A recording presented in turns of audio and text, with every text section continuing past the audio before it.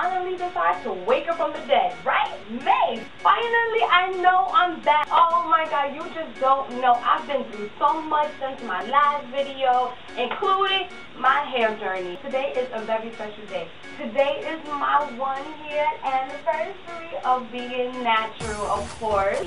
Oh my god. Alright, you know what? I'm not gonna even talk so much. I'm just gonna let the pictures the pictures.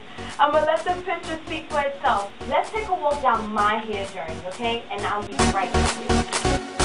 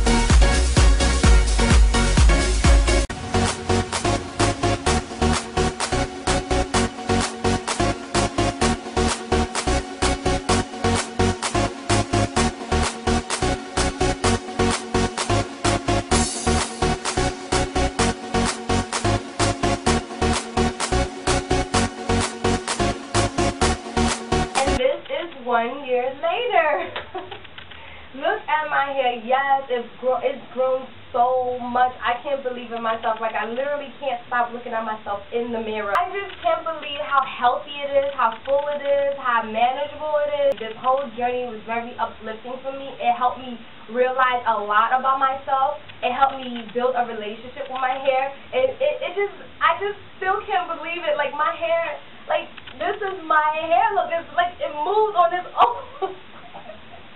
Like, this is really crazy to me. Like, alright, so one thing that I really do have to do is get my ends clipped. I haven't clipped my ends since my big chop, and I know for a fact that I still have perm, um, a little bit of perm on the ends of my hair, which I know is a bad.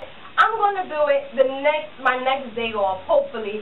And, um, you know what? This is all of me. I just want to give you a quick close-up all me nice, it's full, it's thick, so it's healthy, like, this is all me, and on the back it looks kind of crazy, but don't judge me. This is me. This is all of me. I realized dur- during my hair journey, I went through a lot of obstacles. I went through days where I loved my hair.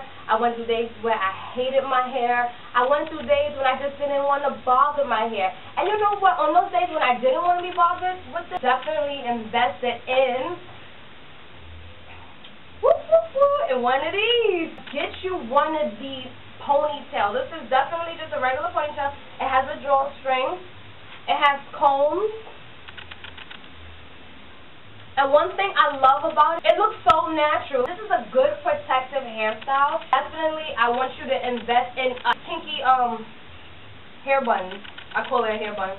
Or ponytails. And I only paid like about $15 for this. It's not expensive at all. And it lasts you a while. I just want to thank all the people that inspire me to go natural. I want to thank the people who actually took this journey with me. I want to thank um, thanks to people who actually supported me through this whole journey. Who um, kept uplifting me, kept, you know, was just there in my corner on my good days and bad days. I just thank you all. I know for a fact I wouldn't be able to go through this journey alone. All the people that actually went natural with me, I really want to know I really want to know your um, progress and how was the journey for you. And let me know. Like, I, I'm dying to know. Just let me know, okay? And I definitely will see you in the next video. Okay? Oh, yeah, and one more thing. For the new people who's now finding out about my channel, just take a minute or two or ten and, you know, check out my videos. They're good videos, you know. Um, just subscribe to my channel. Let me know you subscribe. I'll check your channel out. I'll definitely subscribe back. You know, so, you know, this is, I just still, still can't believe I'm still in awe right now. But thank you so much, and I'll see you guys in the next video.